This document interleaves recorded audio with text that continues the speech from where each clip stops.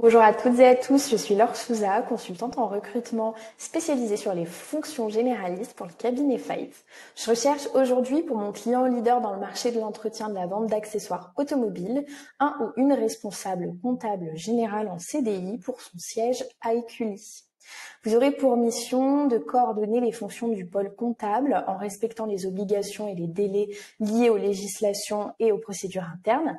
Vous managerez une équipe de six comptables en contrôlant les états de suivi des immobilisations.